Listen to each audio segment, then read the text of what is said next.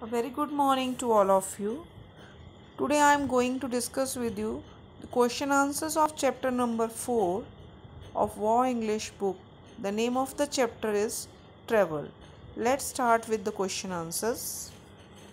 First question is What languages did Marco Polo learn during his journey? The answer is Marco Polo learned Mongolian, Persian, and Turkish languages during his journey.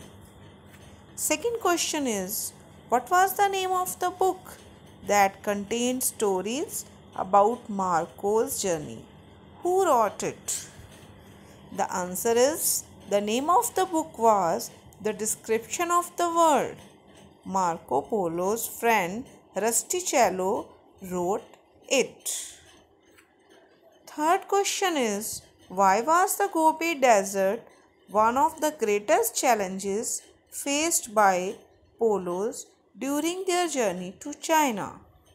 The answer is the Gobi Desert is reported to be so long that it would take a year to go from end to end and at the narrowest point it takes a month to cross it. D part is what did Marco Polo see in Georgia?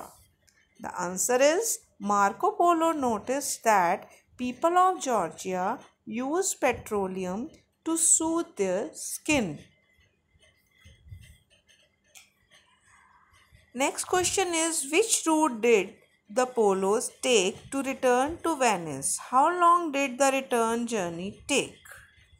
The answer is the route took them along the coast of Malaysia, Sumatra, Sri Lanka, and India.